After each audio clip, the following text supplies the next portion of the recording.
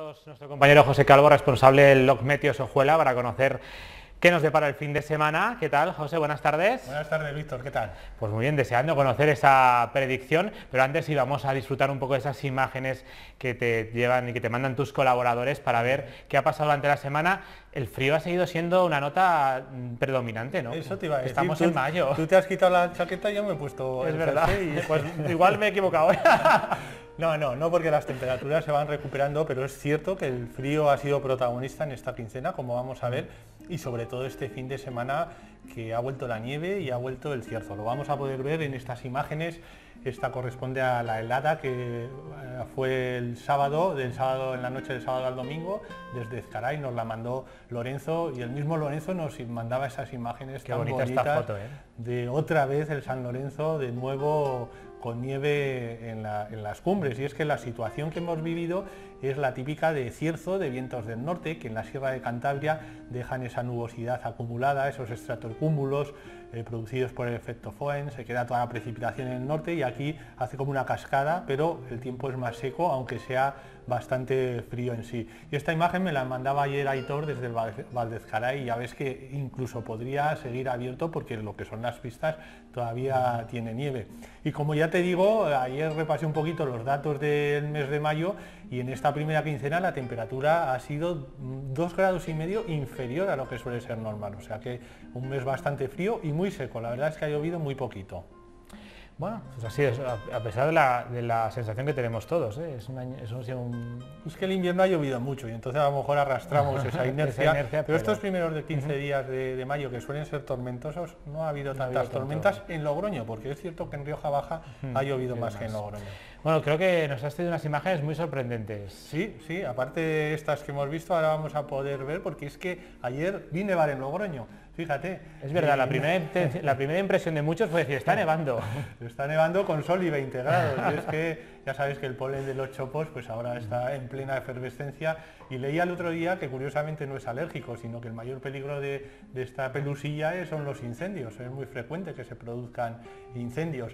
Pero también te voy a enseñar otras imágenes de nubes que hemos visto esta semana que son preciosas, que son estos altocúmulos lenticulares, nubes que son como platillos eh, espaciales como ovnis y que se pueden ver en situaciones de, de viento y son nubes modeladas por estos vientos eh, cuando hay cadenas montañosas detrás. Esta imagen es de Cristina y esta imagen de, de Felicísimo desde Soria, la verdad es que son imágenes espectaculares. Y Hay no solamente hemos visto, bonito. sino hemos visto atardeceres como este de Javier desde Alfaro o este mismo de ayer. Ay, sí, de un pez esto, sí, ¿no? Sí, eso me decía Antonio, esta foto es de Antonio, me decía, bueno. mira, un pez que hemos Sí, visto. sí.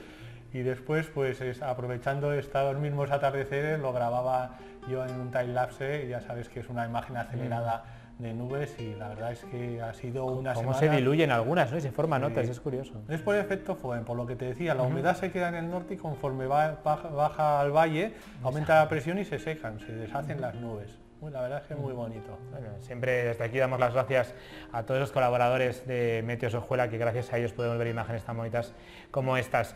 ¿Qué va a pasar este fin de semana? Bueno, pues este fin de semana parece que por lo menos dejamos a un lado el frío.